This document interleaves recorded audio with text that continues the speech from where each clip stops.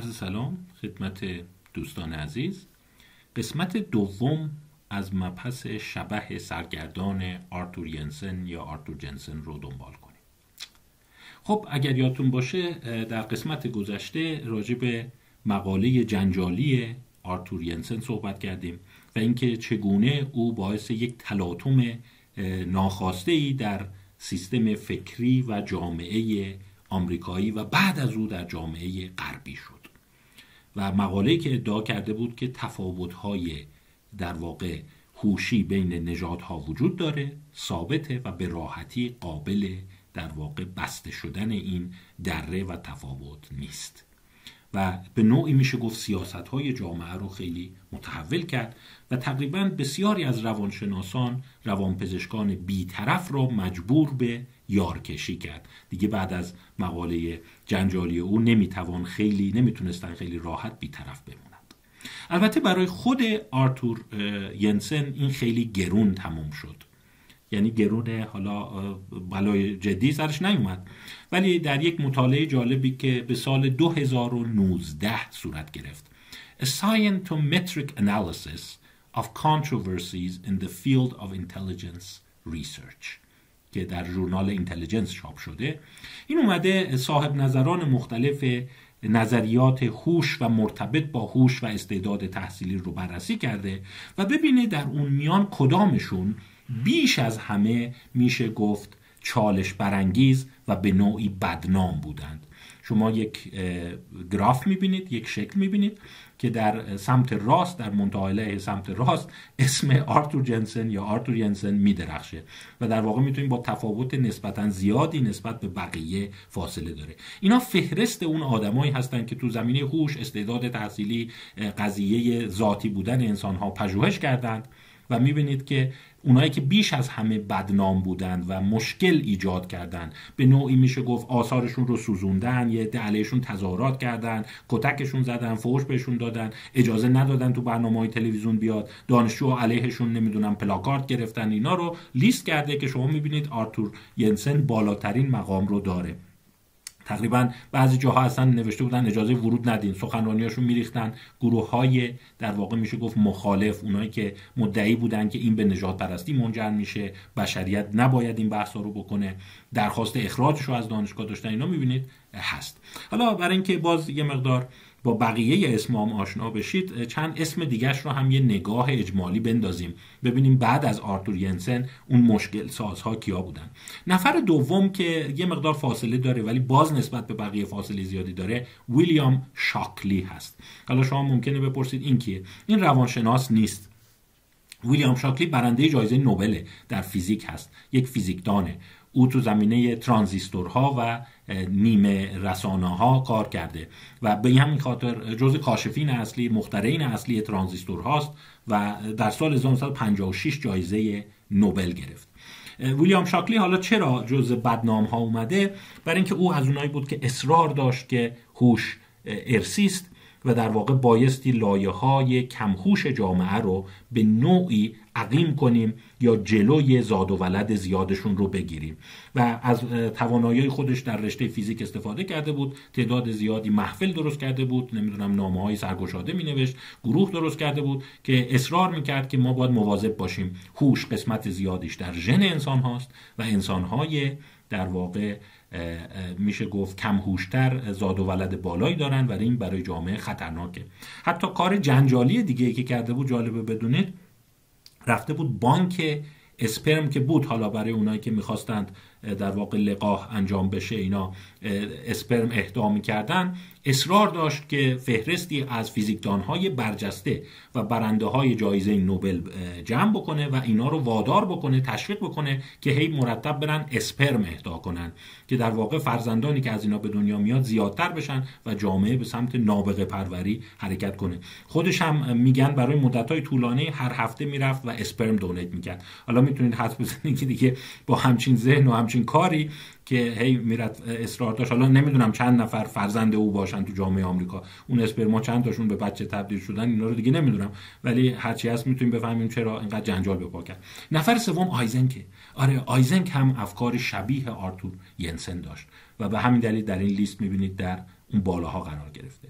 نفر چهارم رو اگر بخوایم بدونید کی است چارلز موری هست. چارلز موری هم نویسنده اون کتاب موری و هرنشتاین این یا هرنستاین اون کتاب مشهور بل کرو هست که یه مقدار بیشتر راجع به او صحبت خواهیم کرد.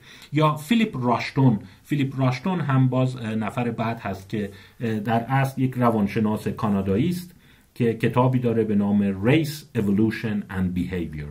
نژاد تکامل و رفتار.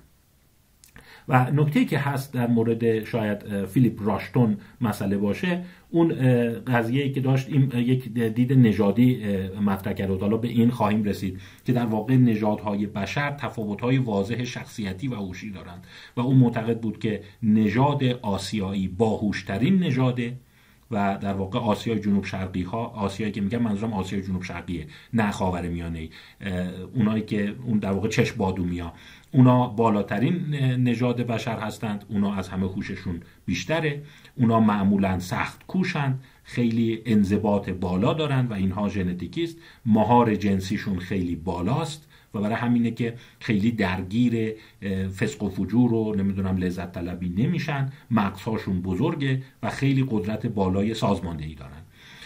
در وسط سفید پوستان و اروپایی ها قرار گرفتن. و در پایین ترین رقم در واقع آمریکای جنوبی ها هیسپانیک ها و سیاه پوستان هستند. و خاور میانه ها و اون منطقه ما هم تقریبا معادل سیاپوستا حساب می شده تو نظامش.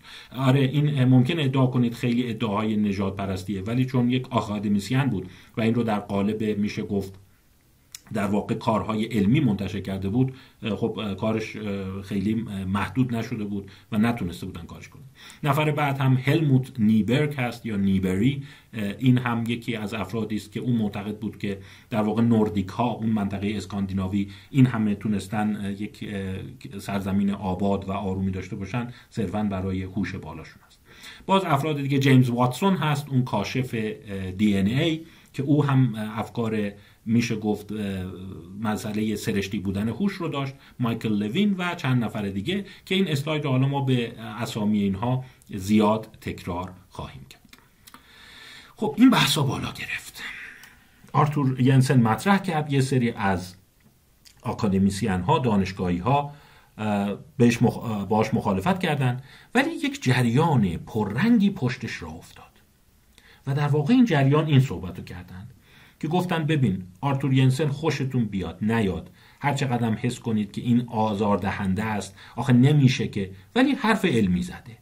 و شما اگر علیهش مدرک دارید رو کنید. ولی چرا میرین سخنرانیاشو با هم می‌زنید؟ چرا علیهش پلاکارت دارید؟ چرا علیهش تظاهرات می‌کنید؟ حرف علمی زده علمی هم جوابشو بده.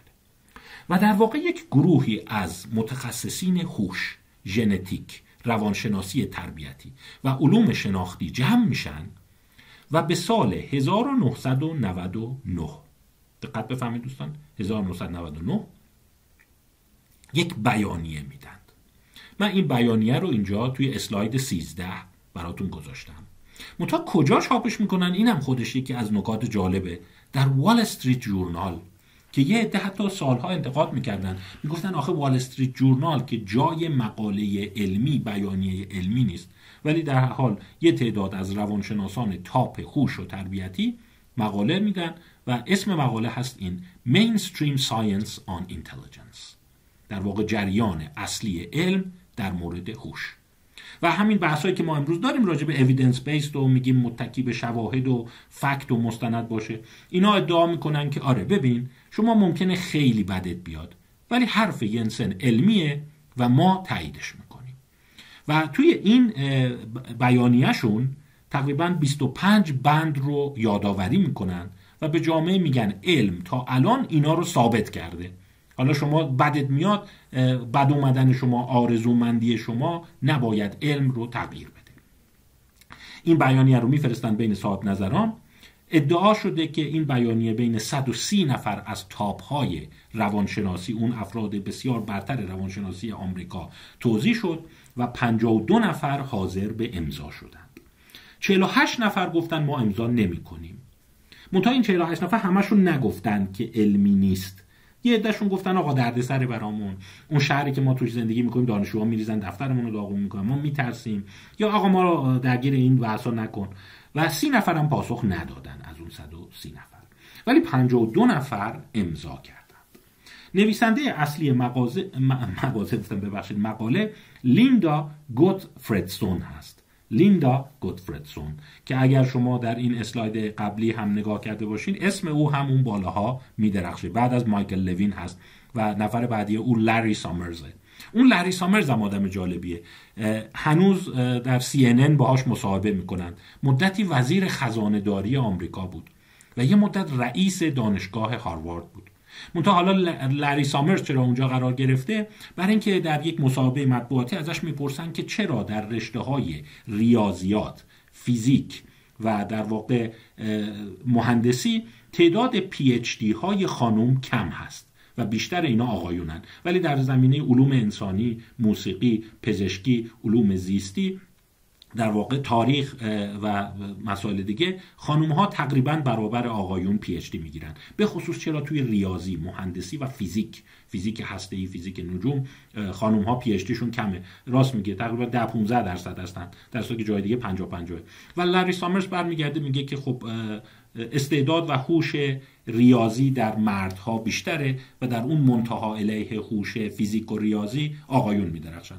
به خاطر همین حرف او رو مجبور می‌کنن از ریاست دانشگاه هاروارد استعفا بده. برای اینکه این حرف خیلی جنسیت گرایانه ای بود که خب خانوما ریاضی نمی‌فهمن خیلی تو اون قضیه نبوغ ندارن و اسمش توی این بدنامه ها قرار گرفت. حالا برگردیم به همین مقاله در واقع Mainstream Science on Intelligence.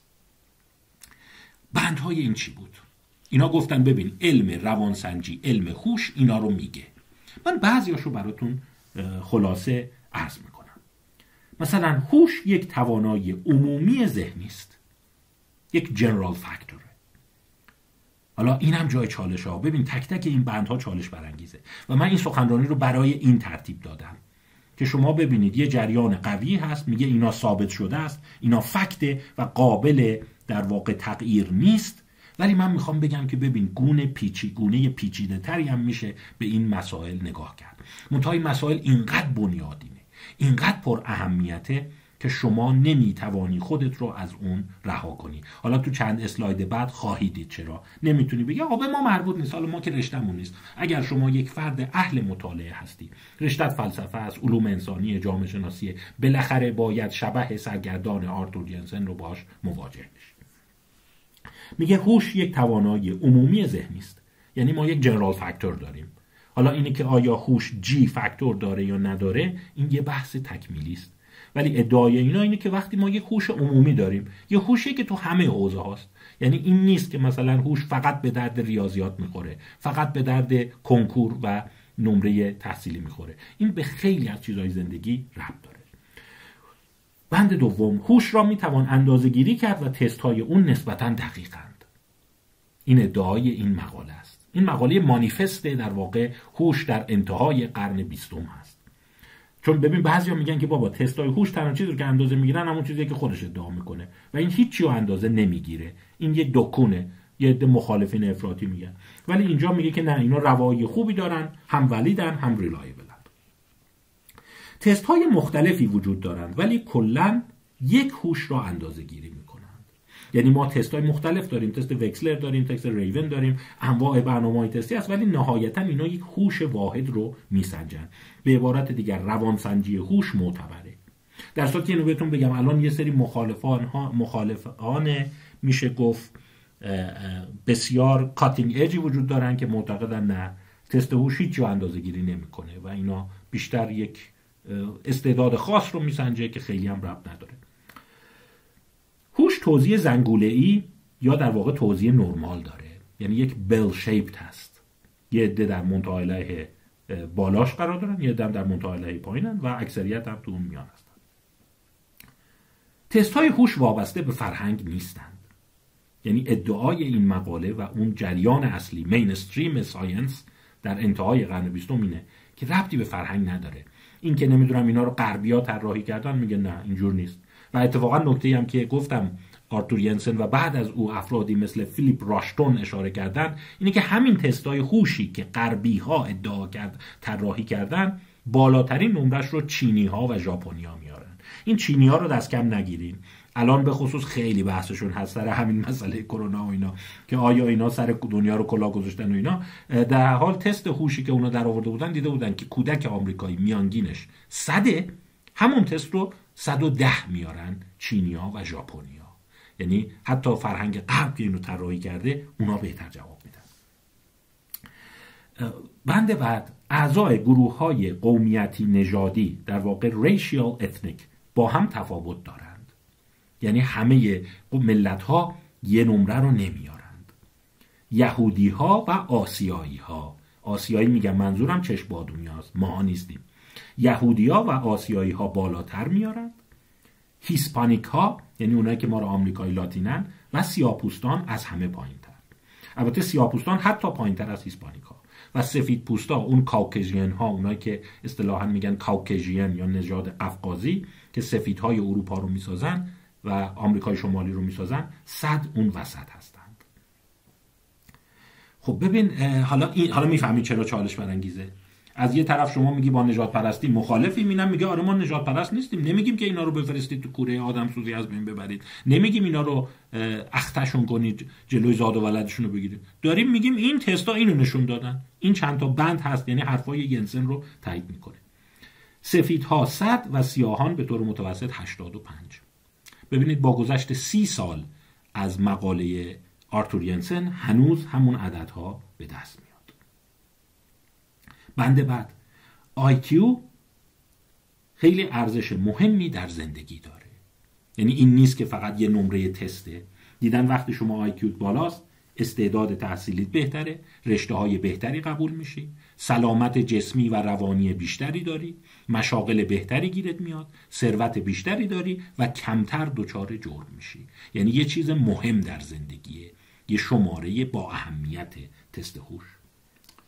و در شرایط اجتماعی پیچیده تر یعنی شما از اون زنده زندگی ساده میشه گفت قبیله یا روستایی بری به سمت زندگی شهری حتی اهمیت آیکیو بیشتر میشه. پس شما می‌بینید که او عجب بیانیه و اینا شوخی و تعارف با کسی ندارن. و می‌تونی بفهمی که چرا 48 تا از اون سران برجستگان دانشگاه های غربی این رو امضا نکردن ترسیدن.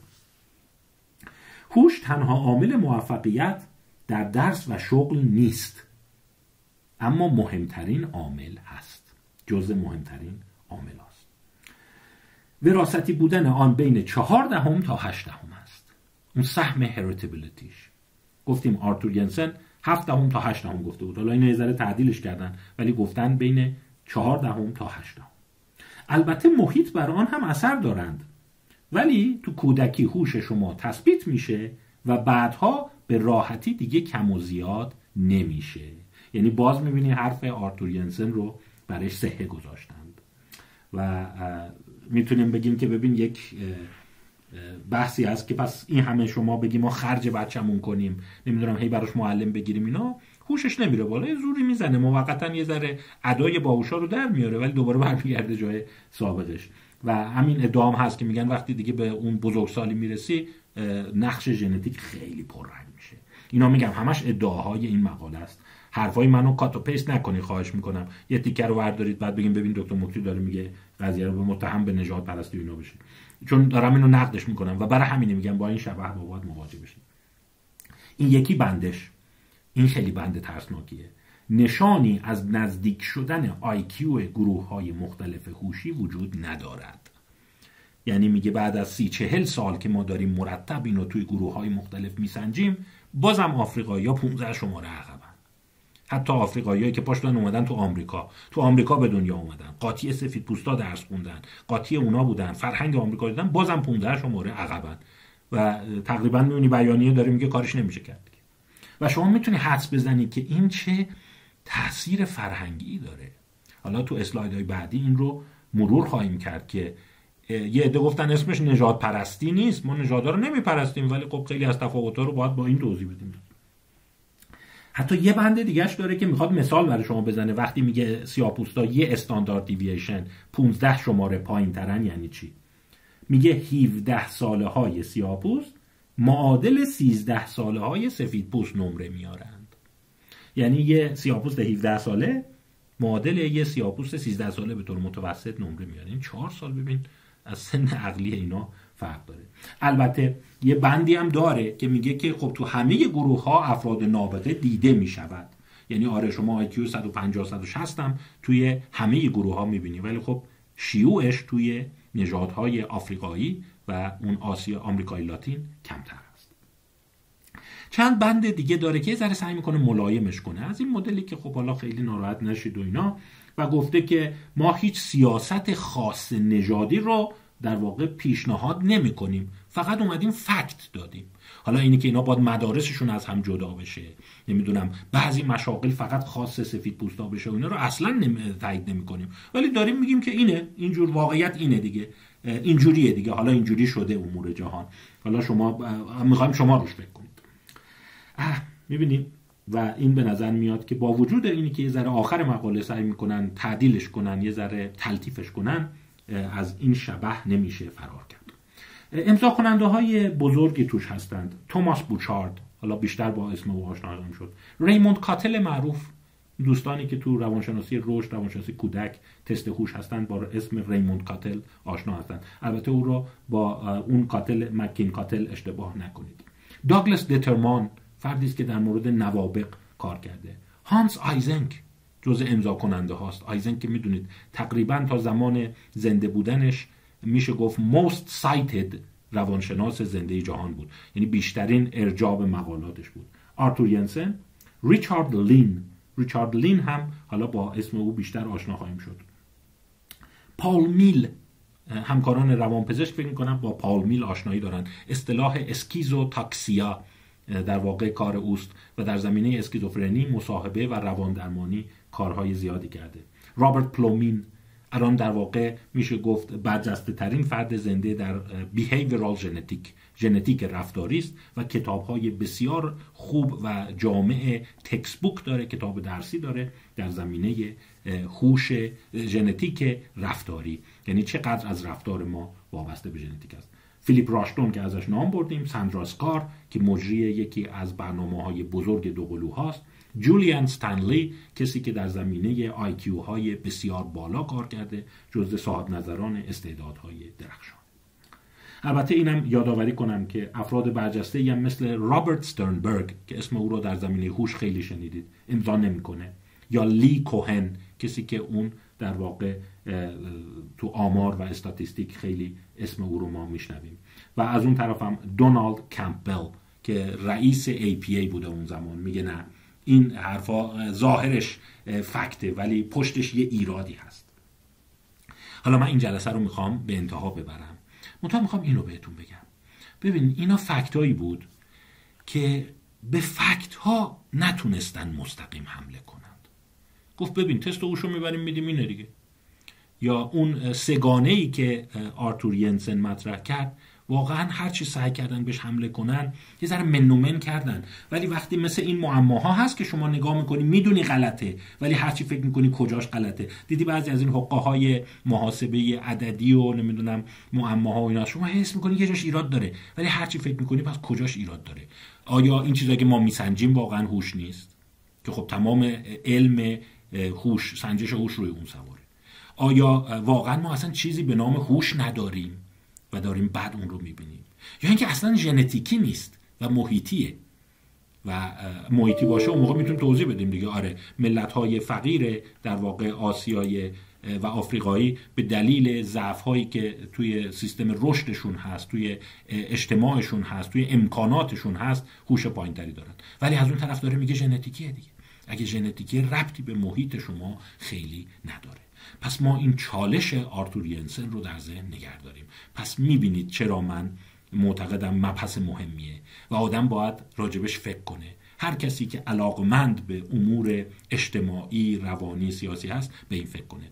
تا جلسه بعد من شما رو به خدا میسپارم. جلسه بعد ما یه مقدار طبقات این رو باز بیشتر دنبال می‌کنیم و می‌خوایم بگردیم ببینیم راه حل چیه. یعنی این سگانه آرتور ینسن آیا ایراد داره؟